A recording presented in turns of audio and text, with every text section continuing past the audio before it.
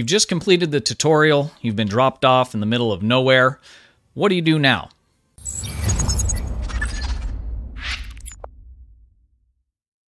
Hey guys, MC Stu here, and today we're going to look at some just extremely basic things about Star Trek Online, how to navigate uh, from one place to another, how to find your next mission or quest, um, some of the very basic 101. So let's go ahead and jump right into it. So you finish the tutorial, it drops you off out in the middle of space. Um, this will vary a little bit depending on what faction you started off with. majority of people start with, you know, a Fed character, so that's what we're going to focus on, but the same things are going to apply to any of the other factions or kinds of characters that you pick where this might vary, at least in terms of location.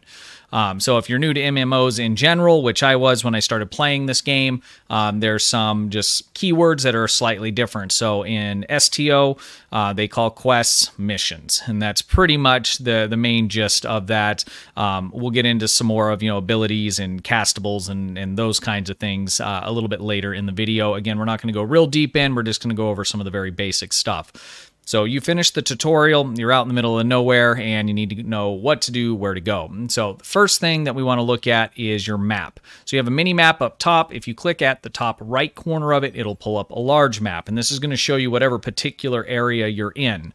So this is the beta quadrant. If you were in the alpha quadrant, it would show you an image of that, and we can kind of look at that, the, the whole universe here. This isn't interactive. This is just a picture of it. Um, the rest of this will become self-explanatory once you get to these places, but you just need to know this is how you access it. If you were on ground, then we would see the ground map that you're on, and then you could further go out by clicking the galaxy map. Um, what's going to happen is it's going to show you where your next objective is. So on this particular character, he's already finished the tutorial and done a couple things. Um, but if you had just finished the tutorial, you would see this round circle, and it would be around the Sol system here, which is where you'd want to head. The easiest way is going to be just to click on it, hit OK, and your ship will start to navigate there. If we look under the mini map, this is going to show you what your current quest or mission is. You can also click on this button here and you can say transwarp. Uh, I think it'll let you do that at any level now, or you can auto navigate, which is what we just did a moment ago. Let's go ahead and try the transwarp just to see. Okay, so this will basically jump you to the starting point of your next objective, mission, quest, whatever we want to call it here. So, boom, we are now where this starts. Uh, one other kind of side note: I personally don't like having this um, this grid. You can dis uh, disable that with this button down here, and it just looks a little nicer and cleaner.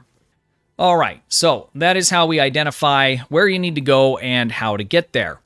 Now, let's say you find yourself in a position where you finished a mission or you've come out of the tutorial. This can happen sometimes, and there's nothing here. Okay, there's no marker on the map for where to go and what you need to do. So the next most important thing is going to be to click on our Open Mission Journal button, and that's going to be towards the bottom left side of your mini-map HUD here. So if we click on that, we're going to have a overview page. This talks about events that are happening and different things like that. Your events tab, again, you want to ignore all that for now and click on your missions tab. This is going to show you basically all of your quests. Now, once you finish the tutorial, some um, different factions or uh, characters, like, for instance, the uh, discovery character. If you picked one of those, the tutorial is going to have kind of a, a, a, story arc that you're going to go through and it drops you out. Some of them are, are longer than others. Once you complete that, everything will be unlocked to you for the most part. So you can kind of skip forward if you want to. If you're brand new, I would not recommend doing that. What you're going to want to do is go to the one at the very top, so the Klingon War and you are going to hail your next mission. And we'll accept that. And now that has come up here, diplomatic orders. So we can auto navigate or we can transwarp to the start of that mission. You can skip through a lot of these missions, um, so you can skip ahead. You'll see there's a skip button, it'll unlock. There are a couple at the beginning of some of these arcs where you have to uh, complete this first one, like Welcome to Earth Space Dock. This one you cannot skip. You're going to Earth Space Dock. This is the first one after you finish the tutorial. You talk to Admiral Quinn, and then that'll unlock the rest and you can skip through it if you want to. Again, if you're a new player, I'd highly recommend just playing through these. So let's say you get all the way done and you finished all of these. Your next is going to be the very next tab here, Romulan Mystery. And you would come in here, click on Hail, and you would want to go ahead and accept that. So it will start to bulk these up since I didn't complete diplomatic orders. Um, it is still listed here in my my uh, my to-do list, quote unquote. So we can auto navigate or transwarp to any of these mission starting points or if you want some more details or maybe you know i don't want to play this one here um, or we'll say diplomatic orders you can click on this little box to the left of it and that will bring up the information about the mission itself. It'll also show you anything else you have slotted. It'll show you the rewards, and you can drop the mission here if you want to. So that is where you manage your current slotted mission slash quests and how you also pick them up. So an easy way to jump to that, let's say there's you have too many things slotted and you can't see it all, you can go ahead and click on your mission journal. Episodes is where you would pick new ones, or if you want to ma- manage what's currently in progress, you can click on the in progress tab and you can manage what's currently here. We only have two, so we can see them both here as well. All right, so that is how we navigate around the universe. That is how we find what mission we need to be doing or we want to be doing, and how to manage which ones of those is slotted and how to navigate to those. Now, once you complete a mission, you will see it still labeled up here. And instead of having this round kind of clock looking like thing, it'll be a little bit of a squared kind of icon. You will click on that and it'll pull up a similar screen to this here, but it'll allow you to pick one of these rewards. In some instances, you'll get all of these rewards and you'll be able to choose one of these. That should auto pick up or, or pop up after you complete that quest. If it doesn't, then you can just click on the icon that'll be right here on the right, and that'll pull up that ending screen where you can pick your reward and complete the mission and clear it out of your in progress tab. Star Trek Online has basically three different layers to the uh, the universe here. So what we're currently in is called sector space. It's large. You have all your different uh, sectors and then star systems uh, within that, and can navigate to different areas uh, within the sector space. From there, what we have is system space and that would be the next layer down. So let's go ahead and look at that. So we're at the Sol system. We're going to go ahead and enter the Sol system. So I'm calling it system space. I don't know if it's actually called something different, but if someone says, hey, I'm in Sol system, that means they're in this second layer of it. So we have sector space, which is the largest area to move around. And then we're going to have the system space, which is going to be your individual maps that are spread out all over the universe or galaxy here. And so you can see here's our space dock. Uh, we have Earth down here, and we have a whole ton of people in this social zone as well. All of these zones are our social zone, sector space, and system space, uh, where you can you know see other players, talk to them, interact if you would like to. Now, next, what we have is ground. Now, ground could be on a station or it could be down on a planet. In this particular system, we can beam on to Earth Space Dock or down to Starfleet Academy on Earth as well. Both are what we would consider a ground map, so anything where you are standing on your feet and can see your character. So let's go ahead and jump on over to the station so we can take a look at that. So this would be the basically the, the lowest level of those three different layers. So we have starting at the bottom, ground, system, and sector space. So if I'm here and it's telling me I need to go to Drozana Station, I would beam up. I would be in system space.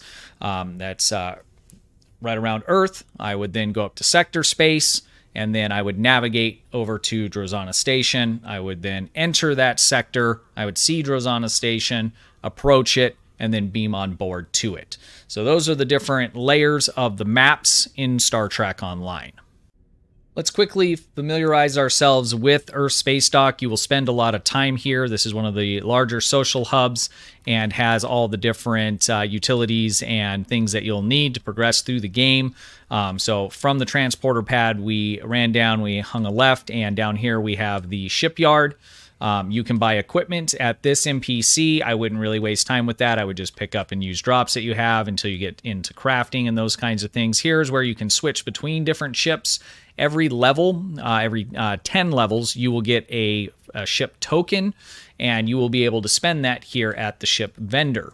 Um, so you'll click on, I want to get a new starship, and you will filter these by the kind of ship, um, your rank, those kinds of things. So uh, next one for me, I think will be lieutenant. I don't have one of these tokens currently, but I would go through and find the ship that I want, and I could purchase it through here with the the free one. There's three of them you can pick from, or you can purchase them with dilithium and things like that. At, at a lower level, I wouldn't waste time with that. Just grab one of the free ships that they're going to give you uh, as you level up and use that. If you want to change how your ship looks, the ship tailor is here, and we'll just click into it real quick so you can just see what's going on.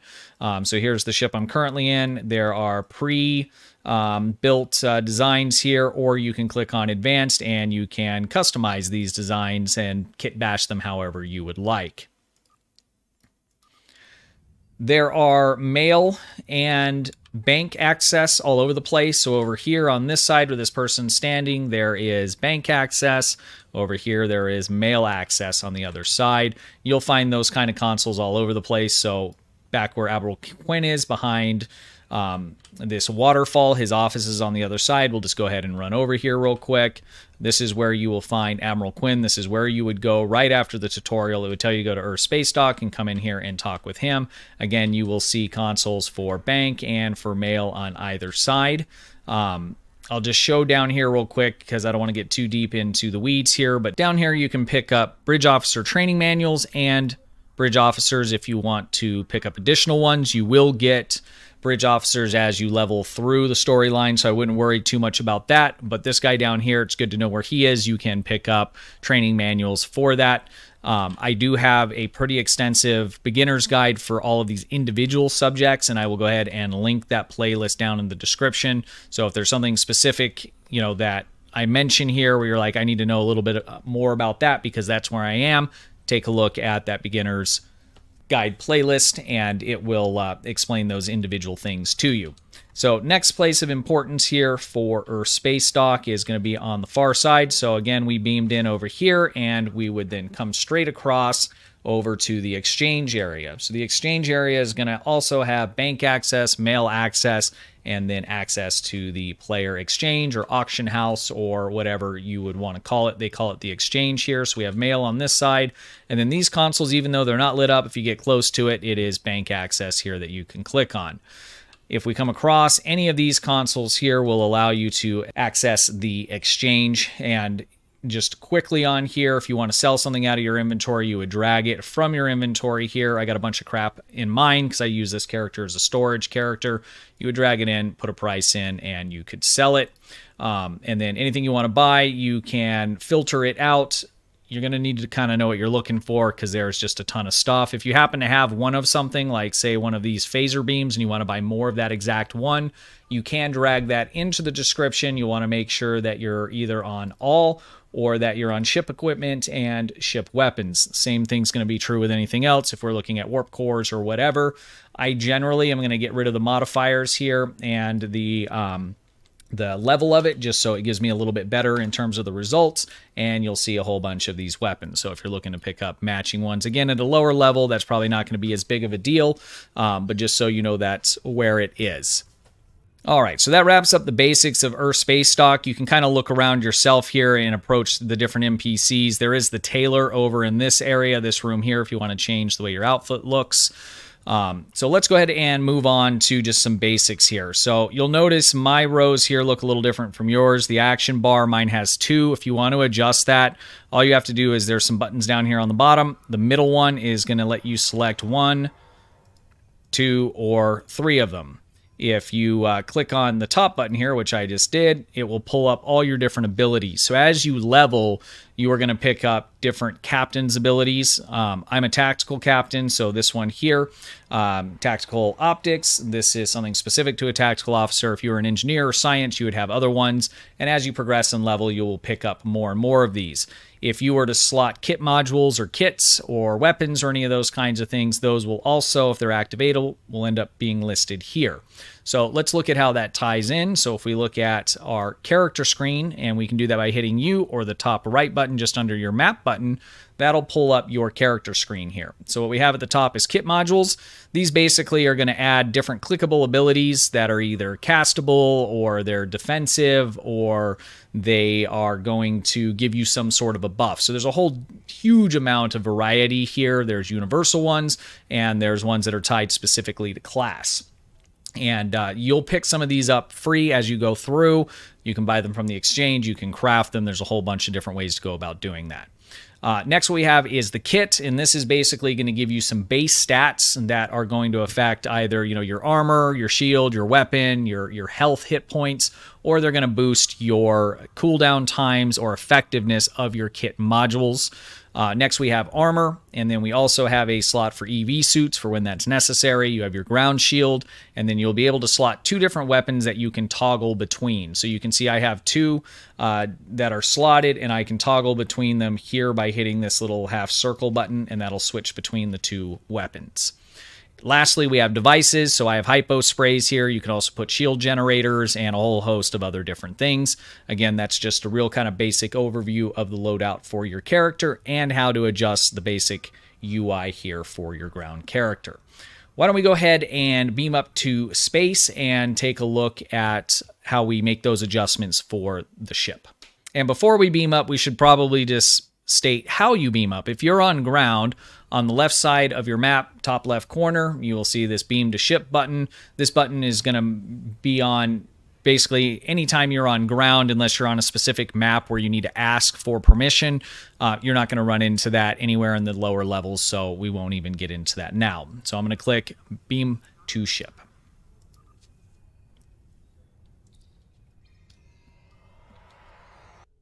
All right, we are in space and uh, it's pretty busy up here. So we got quite a bit of stuff uh, happening around us here. So let's just zoom in. And uh, this right here is a part of uh, a mission that I have slotted. So I can either drop that to get this out of the way for my video, but this gives us a good opportunity to talk about something else, and that's how to adjust your UI. Um, so the easiest way is just to hit F12 and you can grab the different um, uh, button slots, your trays, any of those kinds of things, and move them around. Or you can hide them uh, for for some of them here. So we just move that off to the side. Now it's kind of out of the way of my shot. Or if you know you wanted it all the way over, you could do that. You can rearrange by hitting F12 and then just dragging stuff around. Alternatively, you could click on the cog wheel here, game menu, and then you could click on uh, rearrange HUD, and that will bring us to the same interface there. Uh, so similarly to ground, you also have your bars here. You can have quite a few more bars than what you would have on ground, maximum of three on ground, and on space, it's going to be a maximum of 10 of them. I normally block them in blocks of five, and uh, we'll just take a quick look on how to do that so we can see how you know, we have all the numbers like before. So if I wanted five, I'd click on five. Now, if you wanted 10, that would go up into the screen, um, you know, and kind of block some of your view and might not be real fun. So a little trick for that I like to use is I click on uh, the F12 and then I hit new, and that's going to give me another one of these boxes. Okay. Now that's kind of in a weird, funky spot, right? So if I go ahead and I click on quantity for the rows, there is a toggle here to rotate that tray, and I can then turn it in that direction. Once you do that, it kind of gets all weird again. Hit F12 and then you can move the stuff around. I can also then, you know, click on this tray and say I want to see another five of them here. Um, you'll see some of them are, are repeating and you can, you know, click on these up and down arrows to change, you know, what number you want on that. Um, same thing in terms of slotting different abilities. I don't have much on this particular ship because it's just a starter ship. But again, you would see up here and you'd select and say, I want it right down here. And I could use evasive maneuvers there. Very important. And this is also important for ground. Make sure you lock your tray when you're done. You do that by just clicking on lock tray. And now you won't have to worry about in the middle of combat clicking on evasive maneuvers and maybe dragging it off your bar or something like that. It is pretty annoying. Um, so that is how we adjust our bars, how we add more of them, and how we put abilities on the bar. Now let's do just a quick overview on the ship and the gear. Um, there's extensive videos on you know shipbuilding and all those kinds of things, but let's just talk about the super super basics in terms of just getting things on and off your ship, saving loadouts, and that kind of thing. Um, so I have some real basic phasers here. Let's say I completed a mission and I picked up a you know Mark II that I wanted to use. Um, I could click on this and it's going to show me anything in my inventory uh, that can be slotted in this position for my particular rank. Um, I do have some things in the inventory that are much higher marks but are not slottable for a rank 7 player. So all I would have to do is just click on that and select it, and now it is there slotted on the ship. Um, you can also go into your inventory and say, I wanted to use this Mark II over this basic deflector, I can just drag and drop it there as well, and it's going to just replace it. In the instance where I clicked on it and selected the item, it did the same thing. It replaced it and it dropped it uh, right here. So anytime that you either click it or drag and drop, it's basically doing the exact same thing, and that's going to be the same for all of your items on the ship. Now, each of the three bottom ones here, your engineering, science, and tactical, unless you have universal consoles that are something you want to use, universal consoles can be slotted on any of your equipment slots. Otherwise, you're going to need to use a tactical console in the tactical slot. You're going to need to use a science console in the science slot, and so on. Engineering console in the engineering slots. You can see how that makes sense devices again similar to ground um, you have you know shield batteries weapons batteries there's a whole bunch of better versions of these and different things that can be slotted here as well as you progress through the game but now you know what they are, where they are, and how to slot those. Your basic ship stats are going to be here. Again, this is not really going to matter at all until you start to really level up and build out, you know, more of in-game um, ships and builds. Lastly, for the build side or you know putting together what you have on there and want to save it, there is a loadout system. So if you're on your ship tab and you click on loadouts, you can click save to loadout and you can create one. You can call it whatever you want. I'm real boring, so mine's normally one, two, and three or four. If you buy extra slots, you get two of them for free built in on every ship. And now this is saved to this particular slot. It does say there's some unsaved changes, so let's resave it. So to save it again, I would click on Save to, and instead of New, I would click on 1. Now it says there's no unsaved changes. Let's say that, you know, I, I pulled something off the ship, and or maybe I was on a different ship, or whatever it may be. You slot something to it by accident you didn't really want there. Um, so I'm missing my tactical. I can just go ahead and click on this loadout, loadout number 1, and it will automatically reslot that. These things disappeared that were here because they weren't actually slotted. It was from a loadout before, so don't pay any attention to that. Um, all right, uh, what else we need to cover for space? The only other thing I would recommend, especially for new players, when you start off, your power settings are going to be set look look like this, and they're basically set on a balance. I would highly, highly recommend changing this to three. So you'll see there's three little boxes and a diagonal on this button here. I would click on that and click on number three. This is going to give you a better visual of where your power settings are. I would highly recommend starting off with just taking your weapons power, cranking that all the way up, and then locking it. And then you can decide whatever it is you want to do after that in terms of putting the rest maybe into shields. I personally like to go engines and weapons, is what I like to do. But by taking this up, you're basically going to be doing twice the amount of damage. I mean, you just have more energy going into your weapons and they're going to be much much more effective by cranking that up. Whatever else you want to do over here boosting your shield your auxiliary or whatever it may be that's up to you. But i'm telling you right now boost the weapons all the way up. Um, it'll make life uh, not just funner but or easier but a lot funner when you're playing through the game. Uh, lastly, let's just take a quick look at uh, bridge officers and how that uh, works. Again, I have some very in depth guides on these individual subjects. We just want to make sure that you're aware of the very, very basics so you know what questions to be asking as you're moving through. So in the, uh, the the character screen here, and this is actually the same window that we had on ground. It's just by default it'll show you your ship if you're in space, or if you're on ground, it's going to open it and show you your your character. Um, but all of these things are are visible regardless of where you are. One other tip is to make sure when you're working on your ship and what you're putting on it, do that while you're in space and save it while you're in space. If you do this on ground, you'll find things do not save properly. And that's true for your ground character as well. If you had picked up a new kit module or some new gear, make sure you're on ground when you're dropping those in. Also, just to clarify, in case you're asking, there is not a loadout save for your ground. Um, it should just save with whatever you left on there. Again, I would just recommend making those adjustments while you're on a ground map. In this same window here, we also have a few other tabs. We have our skill tree. You'll select skills as you unlock them, leveling up. You can put those wherever you want to to start with. Again, I have guides specifically on how you can build out these skill trees depending on what you're wanting to do. There is also one for ground, um, and you can build these out how you want to. And again, there's guides for that.